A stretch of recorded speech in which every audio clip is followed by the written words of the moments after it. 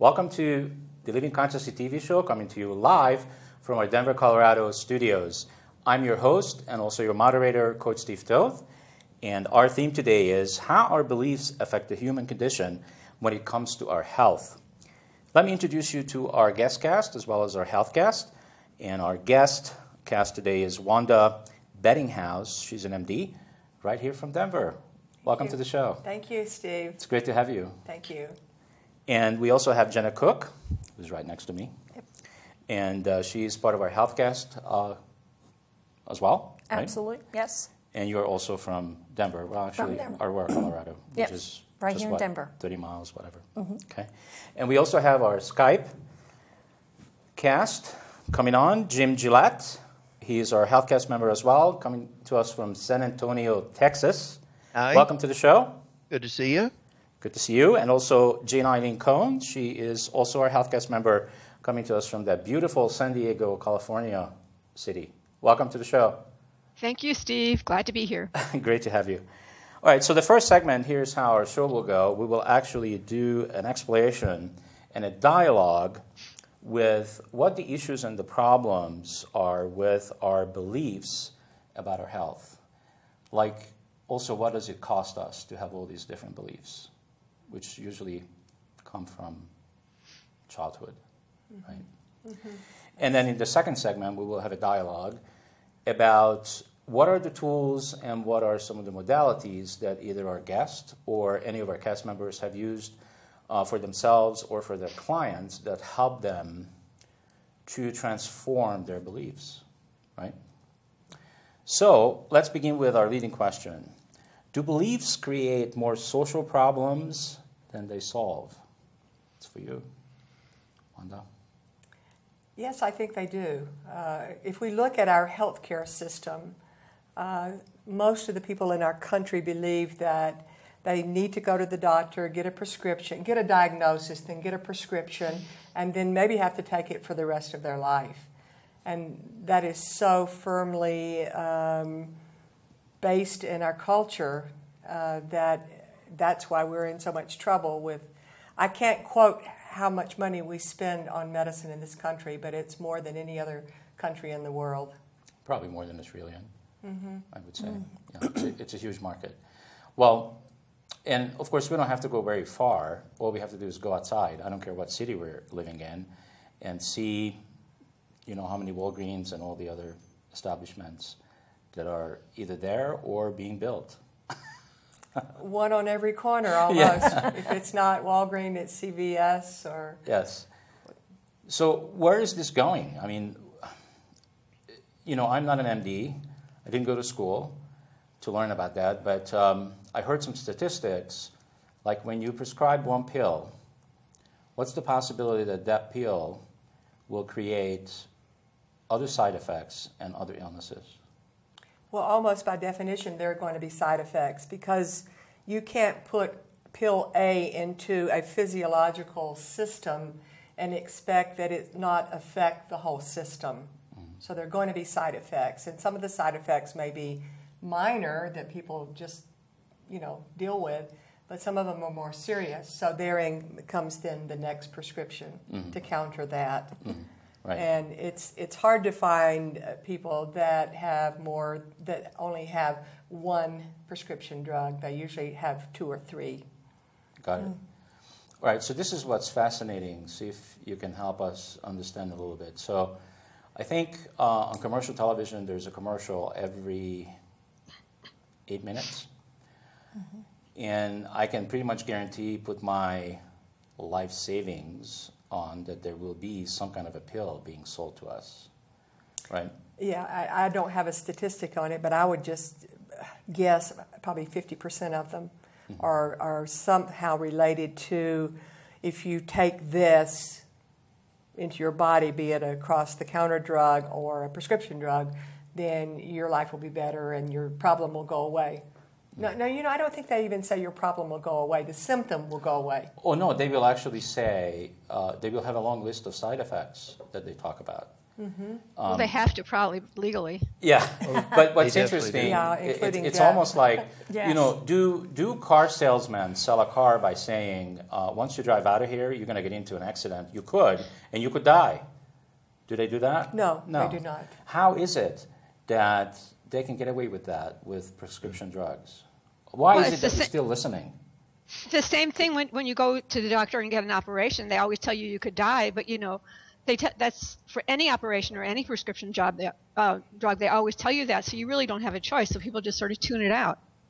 That, that's correct. People do tune it out. Uh, a lot of that is from uh, medic- medical legal um, reasons. The doctor doesn't want to get sued. The pharmaceutical industry doesn't want to get sued. The, the hospital doesn't want to get sued. Interesting. So I'm hearing a lot of disconnection in all of that. Don't you? Uh, Like yeah. everybody's disconnected. Yeah, it's like the whole the whole country, and I, I'm, we're only talking about our country. It certainly is pervasive around the world, but it's like we've all been hypnotized, and that's why this idea of what you believe in has such an impact on your life. Yes. When does it start? I have a somewhat different perspective. I wouldn't call it hypnotized. I'd call it. I, I'm a, a spirituality cast member, so I'm coming from a more spiritual perspective. Um, it has to do with a paradigm shift from my from my perspective. So there's a difference between um, prescription drugs and holistic drugs, and I I'm not sure if I can exactly define it, but it seems to have something to do with control. So um, holistic sort of requires you to, to be engaged. There isn't, there used to be the doctor says this and that's the answer, and if he doesn't have the answer, there is no answer. Now it's much more complicated to find an answer that really suits you. You have to be engaged, and you have to have to be um, more of you has to come into play. There's less of a sense of control, more of an engaging than control. The old paradigm view has to do with physical control as being the solution to everything. And so that's why people take a pill as a solution. Whether it really works well or not, it's, it's how people can feel in control. The other option is, is a different way of approaching life that feels less in people's control. Um, I probably this probably hasn't been all that clear because it's a really big subject that I'm trying to telescope in a few words. Does anyone understand what I'm talking about at all? Uh, Um, you're you're making me think about it. You know, uh, it. I what I wanted to say is, and when I hear y'all talking, it sounds dire, and I would agree. When I think about it, it's probably true. But for me, I I remember the first time I went to a chiropractor many years ago, and that was the beginning, you know, of me starting to understand other healing systems. And you know, since then, I God, I've done so much body work and herb stuff and energetic work and all kinds of stuff that I'm very used to. And and I will take a pill, you know, and I still go to doctors, but I just as uh, likely might go to a holistic doctor or an alternative doctor all kinds of different things. And so I live more in that world, and almost everybody I know seems to be more that way. So maybe I haven't stayed in close touch. I, I those commercials come on if I happen to see them. I, I just tune them out because I, I don't have any prescriptions like that. So Okay. Jim, you know. what, what do you I, I got that, but difference you is? see, we're, Does we're, we're to- attempting to speak to the listeners and the viewers right Yeah, now yeah. Whom, whom are Well, not tuning it, it out, to- whom to are get 'em actually watching that, it. you know, for me, well, that's what I was thinking about. What does it thinking about? What does it take for the person to start believing that there's alternative ways and and maybe more um, balanced or holistic ways or helpful ways where they can get involved. That's uh, jane's word engaged where so what what starts moving them over to where just like Maybe- i and every one of us that are on this path have we, we had to make a bit of a transition away from popular culture to understanding we can take more responsibility and live real nicely without going to the doctor all the time Maybe it has to do with our relationship with authority. I think maybe it does because the doctor represents authority. It's sort of very fixed. You don't have to think for yourself. He just tells you and you do it. Whereas a holistic uh, approach or the, the process that you went through was you started to take responsibility for your own life and making decisions based on your own direct experience. Now that's I would call that an evolved approach. It's it's um, for some people it might feel like more of a risk. It means trusting yourself. It means that you can actually um, be in direct experience and know this is working for me. This is not working for me. I think I'll go in this direction. You are becoming your own. You're tapping into a, a, a different uh, kind of authority, and that's a, that's a paradigm shift. Yeah, Mm-hmm. yeah. Oh, but right now, what we're trying to shift, do yes. is to have a dialogue about what the issues and problems are, Yeah, so okay. the viewers can actually identify with uh, what we're going to be talking about in the second half of the show, which are the solutions. Uh, that's when we're going to talk about holistic solutions. But at the first half, I, I would like to get a little deeper into how does this problem even begun, and, and I think it began at birth. because some of it is genetic, some of it is what our parents are teaching us. Well, yes, we we we uh, develop a belief system based on our environment and what we were taught, and so our parents also did. So it perpetuates itself. Uh, but there comes a time when many people realize that this is a, a something's got to give. Uh, and the way we help people, I think, move out of that is education, just like we're doing right now. We're talking about it. Right. I mean, there comes a time when, when teenagers, I mean, young kids become teenagers and teenagers become adults, and we start thinking for ourselves. And we may no longer believe what our parents or society have taught us anymore. We question it. We begin to question it.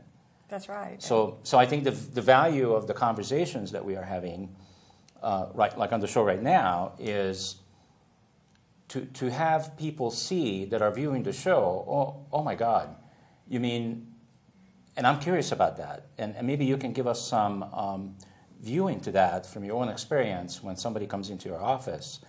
What makes somebody to actually come see you?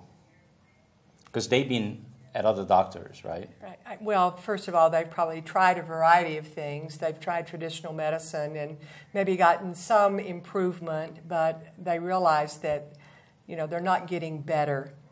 And of course, they're going to learn things from the media, from reading, from studying and doing research, that there truly are other more holistic, natural ways for them to heal. And that's what they want. They want a more natural way. They don't want to be taking medications for the rest of their life. Gotcha. So, do you think what's going on in the world uh, in terms of medicine and in terms of health, how much of, of what we have created so far in the world has to do, how is it connected with money? What does money has to do with any of this?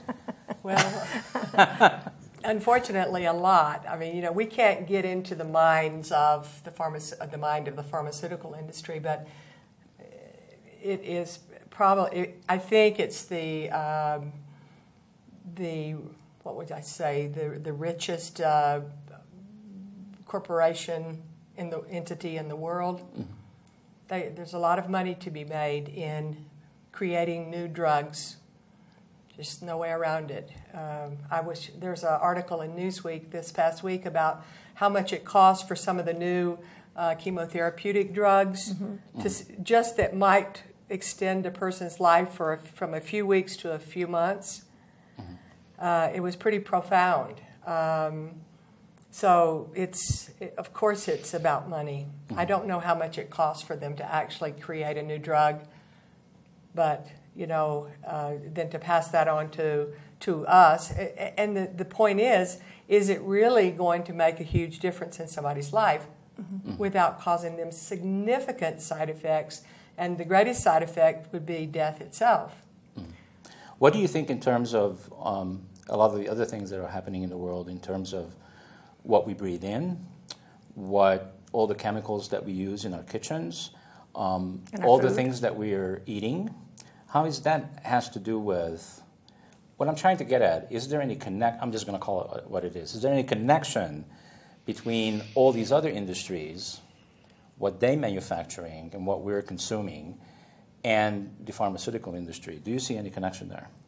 As a doctor, In terms of what it ha- what happens to the human body, Not exactly. Or Not, mud? I'm not, not sure. exactly. like, is, is there a closer connection between. Okay, so let me just pretend for a minute that I'm a farmer. It's going to be really hard because I've never been a farmer.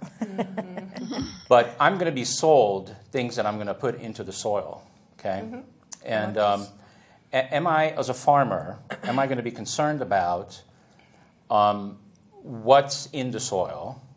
And is anything that's in the soil in terms of chemicals, is it going to hurt humanity in any way? As a farmer, I would pray that you would be concerned about Mm-hmm. that Do, because do you think a lot of farm, farmers are concerned about it? I don't know. I grow up, grew up in a farming family, and even though I would occasionally bring it up, um, my dad would say, "But honey, that we're not going to have a crop if we don't put insecticides and pesticides and herbicides and fertilize it." And you know, I'm pretty young at that time. I don't get into argument with him, but it has a huge impact because we have such a toxic burden in our body all the way from a newborn infant, uh, already ha- picking up the toxic load from the mother, uh, it has a huge impact. And so we're putting chemicals into the soil to grow our food. Of course, it's going to be picked up into the food. We ingest the food. The, to- the toxins get stored in our fat and in our inner organs. And, and unless, we're have, unless we have our detoxification system at the very highest it can be, we're going to build up toxins in our body. Hmm. And it's, it's huge.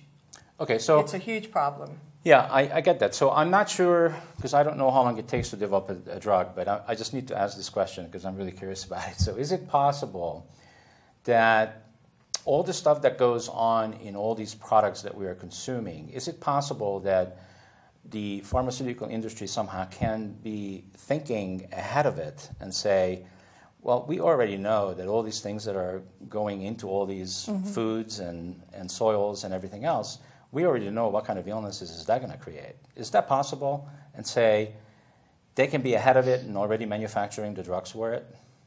I would have to presume that's possible, whether or not that actually happens, because if you've got uh, liver toxic um, chemicals going in, you know, you're going to end up having a dysfunctional liver, maybe liver disease, maybe even uh, liver failure.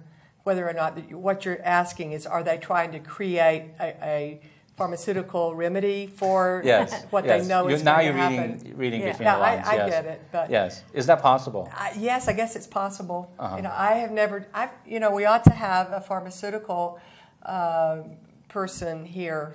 That would be very interesting. They what would never admit it. what goes Okay, in? but- what's but- the intention? But it, it's, it's like I could never get McDonald's to come here and tell me what's in the hamburger. they will never no. do it. Can can I ask something as a person who is into you know natural stuff and I take the responsibility for my health and I don't go to doctors very much. That's my orientation. But let's just throw this in. Um, how come the average age or the lifespan is going up in most countries, and how many people, let's say, in older age in our country, seem to be healthier, you know. And, and but once again, it might be because I just have a narrow range of what I'm seeing, but the average lifespan is going up. So how do we factor that in? I'll, you know, I'll be the, like the devil's advocate That's a good type point. person on mm-hmm. this. Yeah, that's a good point. Yeah. so why are we Living getting- longer? Living Yeah, why longer. does it seem like Uh-huh. we're living longer and healthier? Um, you know, in the midst of all this, frankly, it sounds a little doom and gloom conversation going on about big pharma, big pharma, and the conspiracy of the, the food producers and the farmers, large farmers. Um, how does it happen that in, in, in some measurements, people are living longer and doing better longer? Well, that is a very interesting question. Uh, there, there are probably more than one answer, but what we're seeing as people live longer, they're developing more chronic diseases, more chronic conditions, and therein the opportunity for more medications to extend that. But if we are we looking at quality of life, um, of course, our culture evolves too. One of the, the biggest changes in increasing longevity was just in sanitation and hygiene uh, when we ended up having indoor uh, plumbing. had a huge uh, impact on the decrease in infectious diseases as a cause of early death. Mm, How about lately? Because most of us have indoor plumbing now. You're sticking to your guns, Jim. Well, you know, I, it's funny that I'm I'm taking this view, but it's making me think about it now. The reason I think I'm healthy and I enjoy life at my age is because of all the alternative things I've done. It absolutely doesn't relate back to taking medicine for me, except one that I take, and I don't want to get into. Uh, a, a thing that I have had. I was, you know, had it since a child. But um, um, well, my mother is 91, and Yeah. she she does all the medications. Although she she's sort of one who who chooses to do the least amount of medications, but she's on quite a bit right now. She's doing pretty well. 91, and her sister is 93, and she's plugging Right. along. My yeah, my mom lived in ni- ni- 87, my grandmother to 92, and they were part of that traditional. But I would call that genetics. That was probably also some genetics. They just had good uh, good uh, genes, I guess. Um, Well, I'm curious with the doctor, is, you know, for so much about the pharmaceuticals, does a doctor get a commission for as many prescriptions as they write? Where is the incentive that a doctor will go and write prescriptions? Oh, I, I feel like I'm on the side of the street that I really don't live on, but I'll try to answer these From, questions. okay, from your Uh, experience and maybe, yeah. No, doctors don't get commissions for, For- prescribing drugs. What happens many times is the pharmaceutical industry wants to treat the doctor well, so they Ah. may say, "Okay, Doctor Bedinghaus, I'll send you to this seminar on this drug that we manufacture, and we're going to buy you dinner or give you." You know, a weekend in Las Vegas type thing. So sometimes gifting takes place. So it's more like vacations. Well, that, Or that, yeah, that yeah. happens sometimes. But if you walked around to the average doctor, they're, they're not getting anything for Right. writing the prescription. But they believe that they're doing the best they can for their patient. Right. I'm just curious of the hold that we have in our society about the pharmaceutical. Where I know that there is a movement where people are coming to you now, you mm-hmm. know, to where that they're now looking like, don't do the pill or whatever, but is there another alternative to complement what I'm dealing with, which is a great movement.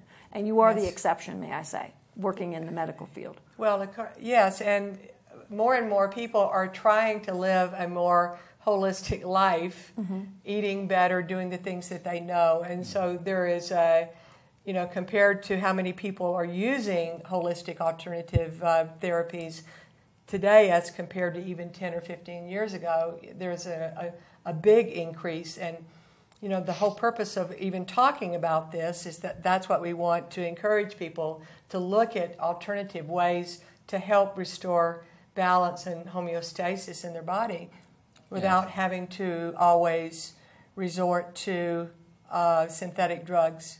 Yes, well, I And I agree, th- but think I'm some of still, the traditional curious, medical people why are- is are it? doing that There- as there's well. There's been this shift.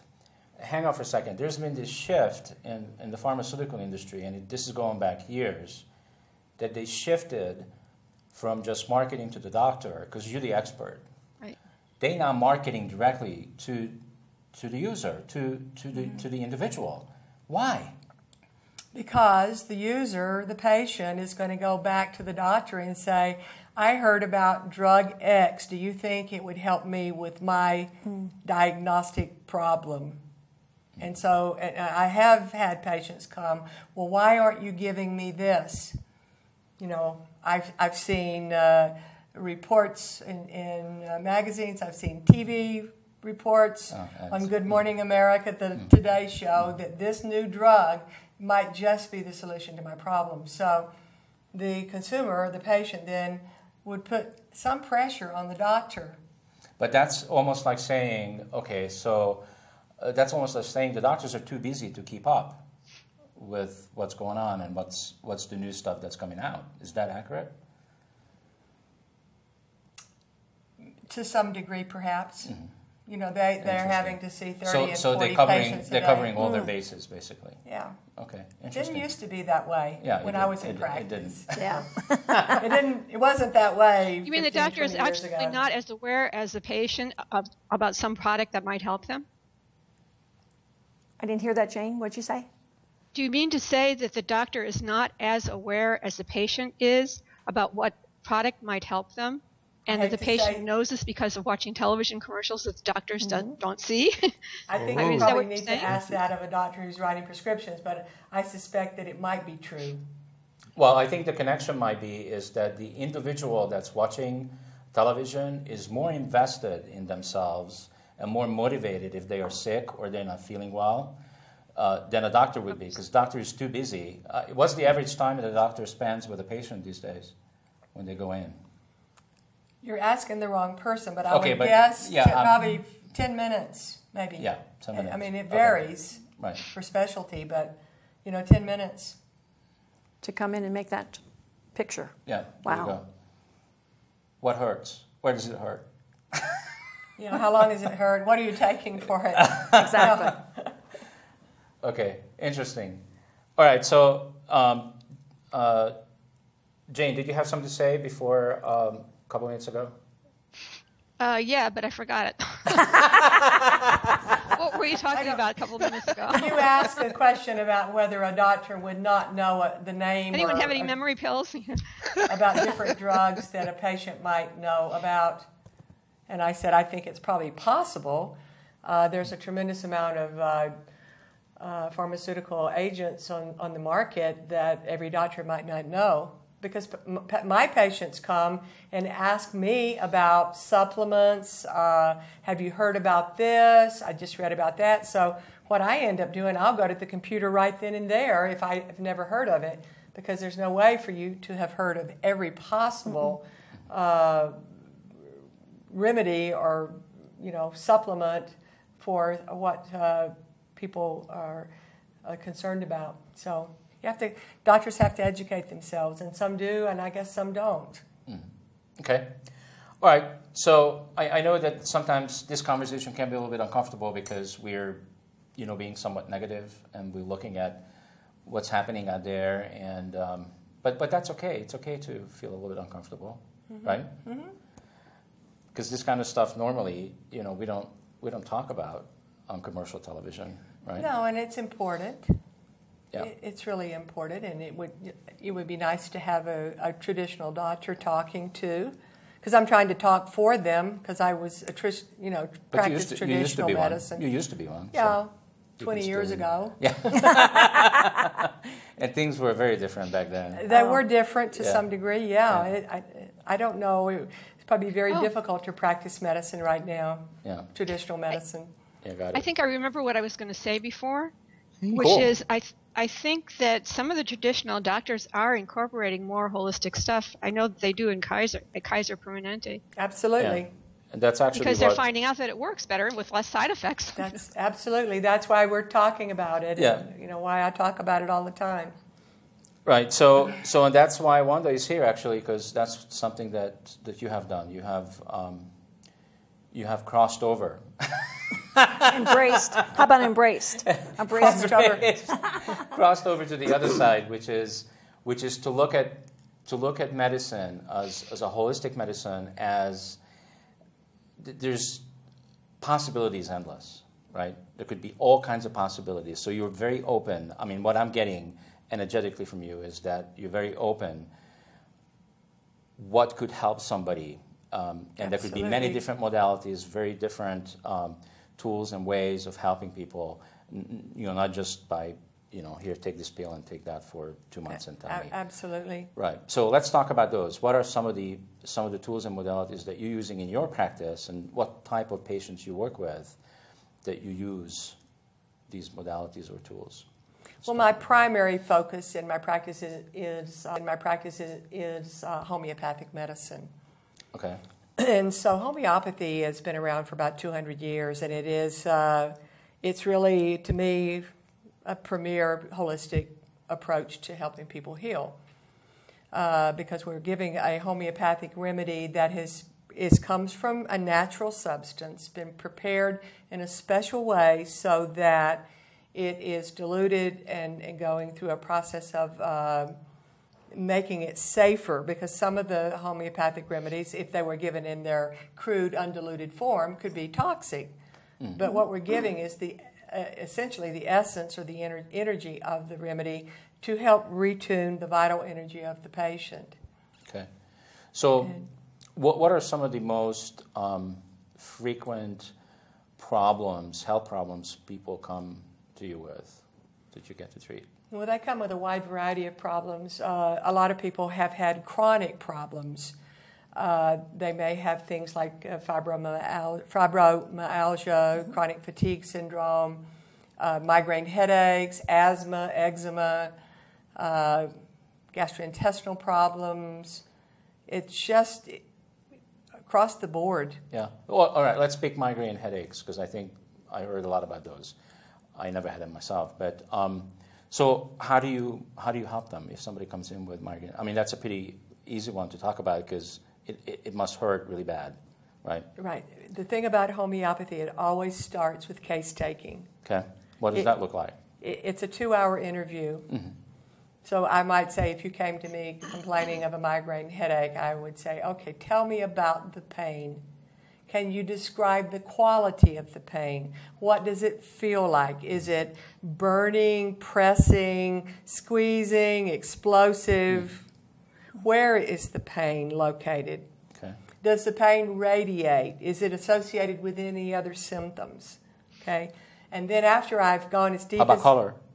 about what? Color is that important? Do they see color? Yeah, Yeah, yeah, aura, all of what, it. everything about the- Everything, everything okay. we can possibly understand about the headache or, or the chief complaint. Mm-hmm. And then we're going to go into everything else. You know, tell me more about yourself. When did the headache start? Was there a precipitating event? Now, see, I'm asking a lot of questions, but in the interview, I may ask a question or two, but then I want the patient to talk Mm-hmm. because the way they express their symptoms will help me understand what, what kind of remedy is going to be most effective. Whether it, it's a remedy that comes from the plant kingdom, they'll have very specific language, mm-hmm. whether it's going to come from the mineral kingdom or from the animal kingdom. It's a fairly sophisticated system of case taking. Mm-hmm. And the bottom line is you've got to understand what is the common theme in the patient and then find a remedy that is most similar to that. They take the remedy, we wait a few weeks, they come back, then we start going over everything. What changed? What didn't change? How did you feel? And of course, you're going to do that through eh, all the systems of the body, but we just emphasize the, the headache. So. And where do they get the remedy from? I mean, Well, I get from? most of my remedies from Hahnemann Laboratory in California, a specific homeopathic pharmacy. Uh-huh. Very The cool. all the remedies are made uh, in a very uh, uh, what's the word common procedural way that actually is regulated by the FDA. Not the remedy itself, but how they're made. Oh, okay, got it. So you've got uh, standards there. Almost like a compounding facility where they put things together and make the remedy? Not quite. Not quite? Not quite. Okay. But they're, they are handmade. Okay. Yeah. Yeah. So wow, two hours is a lot of time to spend It with is. somebody. Mhm. Yeah. So that's like hugely different um, hmm, from traditional traditional medicine. But that's a great picture. Mm-hmm. That's a whole list, the whole body, mind, mm-hmm. emotional, spiritual, that whole uh, case uh, where you see the whole person as a person. That's right. You've got to understand everything you possibly can. You know, we go back to childhood. What was your experience in your family as a child? How did you feel? Mm. Mm-hmm. You Excellent. know, what did you experience? Not where were you born and did, did, were you raised on a farm? Right. But, you know, how did you feel? And they may say things like, you know, I felt totally alone. I felt forsaken, abandoned. Uh, I felt like nobody loved me. Uh, my mother was controlling me all the way down to what clothes I wore to school. All those things are important in coming up with a homeopathic remedy. Uh, and I know it's, it's not easy for if you don't know anything about homeopathy to understand that. But if you sit down with a homeopath and watch them take a case and you understand a little bit about the different uh, remedies, then it makes more sense. Yeah. Well, we educating the public right now. That is So- exactly right. So At the beginning of the do you show, I think you said that you used to have a partner that was uh, medical in medical massage. Is that what I heard? I didn't know who was talking when I heard that. My business partner, Well, let, let me go on with my thought. therapist. I was going to ask medical um, because I, while you're talking, I'm thinking about the way a traditional herbalist in traditional Chinese medicine would approach it. And I used to go into Chinatown every week, then every other week for about a year and a half, and I'd see this doctor, and he just sits there, and he would take my pulse, look at my tongue, and get, go through some things pretty fast, then send me into the back where they had all these bottles of of um, you know ground up herbs, and they they almost like fill a prescription, and um, that's another system that is very different from um, you know here's the pill. Uh, but but their way of doing the diagno- I don't know diagnosis the, the the intake is very holistic and not along the same lines that our traditional Western medicine uses at all. So for me, I've you know I've been to a homeopathist. I've done a lot of Chinese, traditional Chinese, um, and definitely reflexology and body work and acupuncture, acupressure. So do you align with other natural systems? Do you do you, are you in a clinic where there's other ways, or do you do you just go straight for the homeopathy, which I think probably you do in your practice, but do you? It, I know what led me to this. I'm with all that intake. I was wondering about the the energetic release of of some of these patterns that are held since childhood that that exhibit themselves in um, disease or disorder, but um, something like uh, acupressure, acupuncture, or reflexology. Do you utilize any of that or refer out to those those systems? I would need to refer out because I don't practice traditional Chinese medicine or acupuncture. Now, my partner, Dr. Joan Sloss, does some craniosacral work, and she's very skilled with her hands and uh, helping release stuck Right, energy right, here right, periodically. right. Stuck energy. That Yeah. gets it down to a, You a know, single and, thing. you know, stuck energy. Right. there are a lot of other wonderful therapies that if, if it if it seems to be called for and we're not making progress with our homeopathic approach, Mm-hmm. then we have colleagues that we refer to. Yeah, that's interesting. Actually, that's what that's what was coming up for me is how does a patient know what will work for them? Well, like first, what modality will work for them? So, do you think that a, a good way to begin is is do that intake that you were talking about, the, Mm-hmm. the two hour, because that's like that's like the beginning. Like you got to know. Like I used to be a consultant, so I do a needs analysis. Mm-hmm. It's it's like the same thing. You got to know where you are right now, where Right. that person is. right? It is, Right. that's very important. Okay. You know. No, I see uh, that. And it, there are not very many people, not very many healthcare providers that spend as much time with a patient as a homeopath does. Um, now, homeopathy is working at the vital energy level just like acupuncture is. We're just doing it uh, in a different way. But it's the vital energy, is the, the, the energetic field of the body Mm. that is out of uh, balance that is causing the symptoms and thus the disease process. If Yeah, the- or- or- if or the block. symptoms are not, uh, if things don't come back into balance, then it goes into deeper pathology. So, Okay, so what I'm also hearing is that, let- let's say, we can, we can agree on this probably, that mostly traditional medicine is treating the symptom, not, not the core, most of the time, most of the time, yeah. And so what I'm hearing also that here is that because you do spend a lot of time trying to get a picture of the whole person, that, that means to me that um, you, you will treat that person based on what you come up with after the, the two hours. I mean, you will have recommendations, right? Right. Like, I think now this is the next step. And then if they don't respond, uh, which is unlikely, I mean, how often does that happen? That the, the well, system it- doesn't respond? you know, healing is a process. Okay, and, and people are, are so used to having a quick fix. Mm-hmm. Homeopathy is not a quick fix. Unless we're dealing with an acute infection, and many times within a few hours, the patient can be feeling better when they've taken a, an appropriate homeopathic remedy. Yeah. So let's make that distinction. So the quick fix is the pill because it takes the pain away, right? That's but right. it doesn't heal the original problem. Heal the original problem. Well, well, it doesn't get at the core the issue. core, why, does, yeah. why is there the pain Right. there to begin with? So, Yeah, Can I that. speak up for one other thing Please. that a person can do? Um, see, because I ser- I believe in a daily practice, usually for personal development and uh, you know discovery. That's very interesting for me. But the stress reduction uh, qualities that, uh, that accompany daily meditation or some type of processing really helps the general health.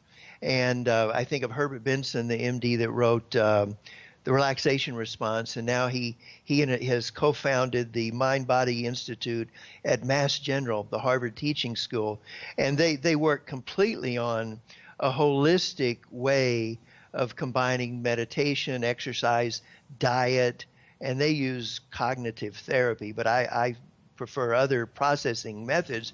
But all of this, and this is very measurable, there's probably the area that has the most research of how it reduces stress and, you know, blood pressure and cholesterol, cortisol, you know, these chemicals, the hormones that come into our body when we're stressed out. We can reduce the, the things rushing through our body um, by meditation. And we can also do other things that we raise other hormonal um, functioning in our bodies that's very healthy. So I, I look at, at health for me is like an ongoing process, and it's daily. It's not going to the, going to the expert is what you do occasionally. They help set you on a path of your own improvement, or they help you with an acute problem or a chronic one. But I think we have to take responsibility for daily something to be healthy, and that does include diet and exercise as well. Yeah, so, I would agree that daily practice is very important. Um, and also, I represent, um, I, am a, um, a counselor. I'm an intuitive and transformational counselor. And so, a lot of times, people's um, physical symptoms have a lot to do with stress. Stress is the basis of a lot of illnesses that people feel, and stress has to do with um, what I call limiting decisions. Other people refer to them as unhealed emotional issues. Um, I, I, don't call them unhealed issues, but there are decisions such as I'm not good enough, or um, people are dangerous or can't be trusted, or I'm not going to survive, or there's um, um, it's not it's dangerous to exist, or um, I'm not lovable. There's all kinds of limiting decisions that people have made that can have profound physical um, reactions. I've, I've had people uh, who had asthma who no longer have asthma anymore because of the physical basis of it was removed, or chronic back pain um, because something was cleared and that resulted in what I mean cleared is a, a limiting decision such as uh, I'm not going to survive or whatever the decision is hold can can very often hold in place major physical symptoms that can be even life threatening. Hmm. Yeah, you, you mentioned homeostasis before on the show, and um, I, I, would like to explain it to our viewers. What, the, what is that, homeostasis, and how, what does it mean, and how, how does it work in the body? Well, it's actually the natural, innate state of wholeness within the body that everything, all the systems are, are in doing what they're supposed to do, mm-hmm. coordinatedly, together, communicating, every cell communicating with every other cell, doing what it takes to keep the, the living organism in absolute harmony, really. Mm-hmm. And I certainly agree with uh, uh, one of the uh, speakers about uh, a daily practice of meditation. And I do recommend that my patients meditate. There's a lot of things that I recommend after we've started the process. Right. And, you know, the psychosocial aspect of uh, disease is huge yeah, I, I, actually feel that you know, just on my own journey, I, I began with um, just just healing myself through um, my ability to process my emotions, mm-hmm. and and I know that uh, in general, women are much better at this than men. Um, most men really don't like to go there. Would you say? what emotion? What emotion? what are you? Ta- what emotions? What are you talking about? let's just go have dinner. Yeah. uh, well, because uh, because most men are scared. scared. You know, okay. they they just don't know. Speaking from my past experience, you know, I was scared that I would get hurt. Uh-huh. That's how I had it. You know, that if I if, if I opened up and I and I allowed, my, I allowed myself to be vulnerable, I would be hurt. Mm-hmm. And you know, we don't want to be hurt, do we? now, now no, what happens? No really what happens in our system?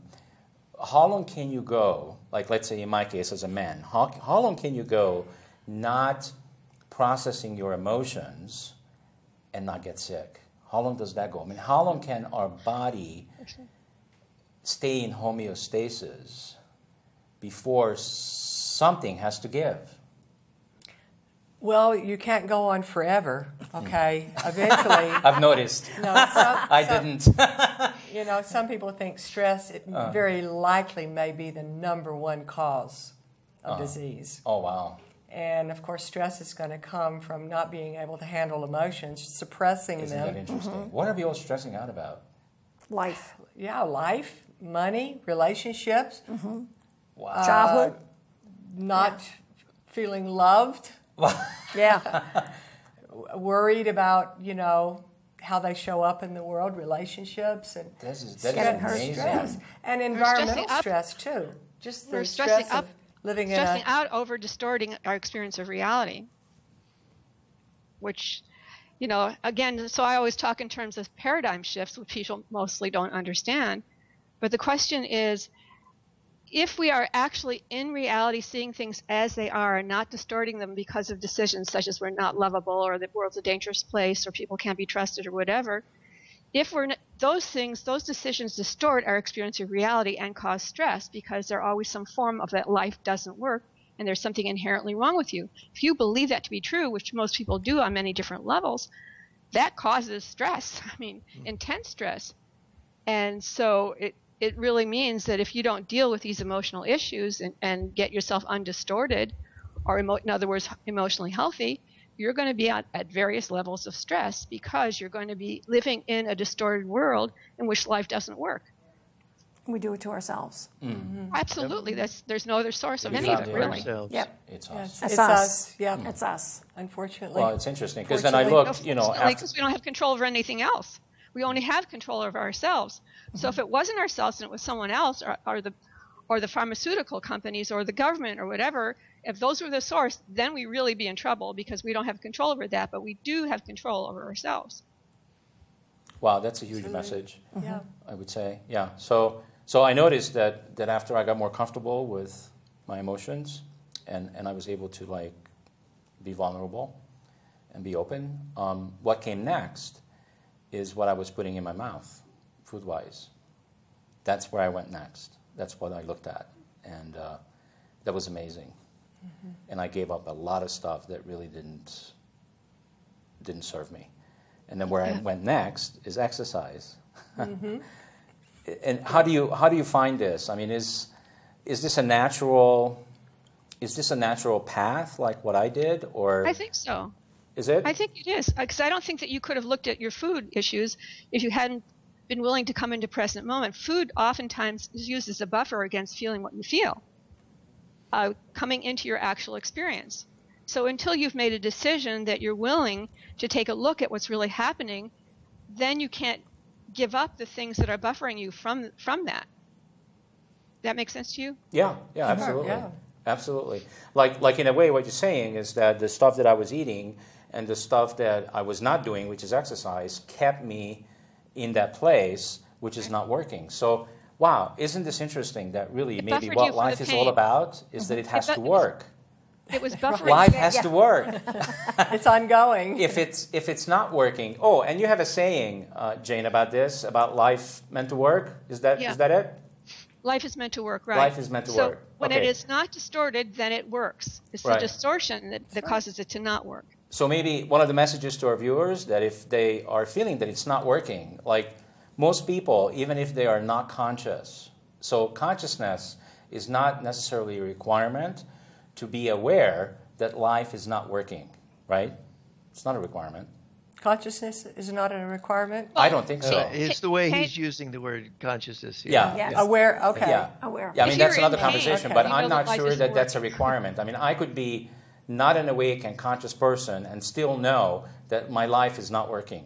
Yeah. Right, that's literally, you can Literally, see that. yes, Yeah. you can you can see not it, know feel the it, source- you probably don't know the source it. of it. Okay, If you're not conscious, then you think the source is something outside of yourself and blame it on something, blame it on something outside of yourself. Versus if you're conscious, then you would have more chance to getting to the root of what's actually Mm-hmm. causing you to have that experience. Yeah, you become more self-reflective then. Mm-hmm. You have that Yeah. capacity to to just say, "Hmm, I wonder why I've gained 15 pounds in three weeks. So how often does that happen in your practice when somebody comes in and and after you work with them for a couple of hours and then you you you you, you, you give them some remedy and then they come back and then all of a sudden for that person the light bulb just goes on and they go, Oh. It happens.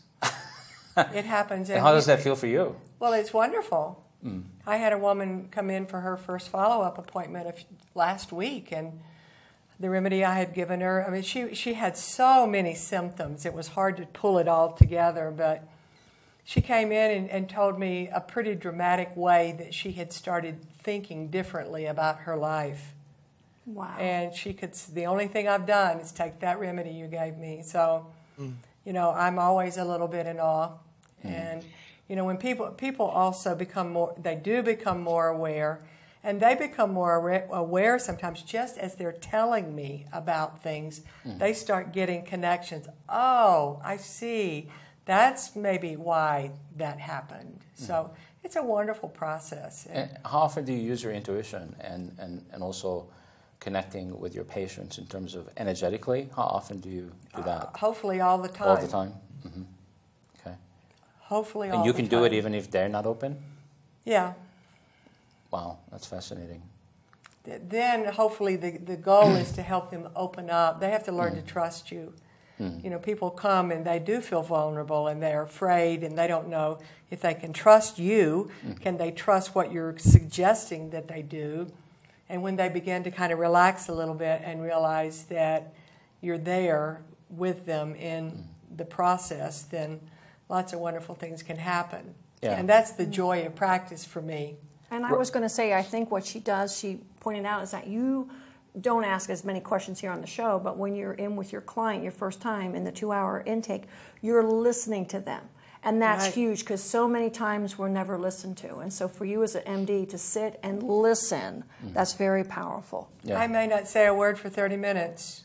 Wow. That's very I'm sure powerful. that's healing in itself. That's right. It is. That's why a lot of people prefer nurses in the hospital to the doctors. The Right. nurses are actually helping, yeah, Yeah. No, because I they're think the- listening.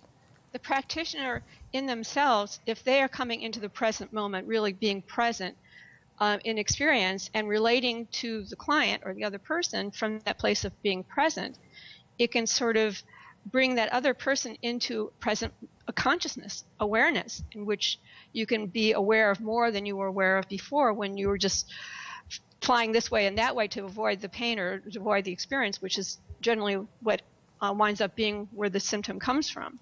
So if you come in to actual present moment awareness and consciousness and are relating to your client from that place, it gives that person the experience of what it feels like and begins to slow down into actually looking what's ac- at what's actually happening in reality rather than running away from it. Right, exactly. All right, so right before we started the show, you mentioned something that I think it's important to bring into the show, which is most of your clients are women. Why is that? Oh, you're asking some very hard questions. The- my, my personal belief, I think women um, are naturally a little more holistic, and I, you know, they. Uh-oh. Okay. Thank you, doctor. Oh, wait a minute. wait a minute. Well, I don't know. I wouldn't get in trouble now, but uh, no, no, he's giving you You're a hard digging. time. No, I think, no, I, I think. I guess no, we'd have to ask them. Why, did, why don't they come instead of objectively? their I would agree. Do you It- ever ask them? Just because I think women are more uh, in tune with rhythms of, you know, natural things that are happening. Plus, giving birth has got to be one of the most gigantic natural things that men never do. You know, right. so um, I, I I think there's a reason for it probably, but I'm going to speak up for men. I mean, where hopefully out of all of this, guys are starting to understand that we have a whole system that we there's parts we need to develop and open up to. So um, I, I, I'm raising the flag for that. Guys can do it, but perhaps women do get a little head start in some of these areas. Yeah, fantastic. Well, hopefully, I will do whatever I can in the future to influence men to get on the bus because the bus is taking off and they better be on it, right? Well, your, actually, your biggest influence delightful be to you work do it. with, actually. Okay, so we're actually uh, coming up to the end of our show, so I just want to thank our guest, Wanda. You've been absolutely wonderful. Uh, so were you, Thank you. Janet. Thank you for And being so here. were you. It it makes the show so much different when I'm not sitting here all by myself. There's a really nice energy and support, so Mm-hmm. Thank that's you. wonderful. Thank you for for doing that. And also, uh, I want to thank all of our viewers as well uh, to be with us, and of course our cast and everybody behind the glass. And just want to remind everybody that uh, if you vote on our shows, the more you vote, the more it's being played on channel 56, 57, and channel 219. And don't forget to visit us on livingconsciously.tv and uh, interact with us there. Uh, join our membership site and um let's um, let's do this. Let's um, work on being healthy because without our health, I believe we really don't have anything. I agree. Yeah. Agree. So thank you very much, and we'll see you, of course, uh, next week, same place, same time, in our Denver studio live with the Living Consciously TV cast. Thank you so much. See Thank then. you. Okay, Bye. bye. Bye.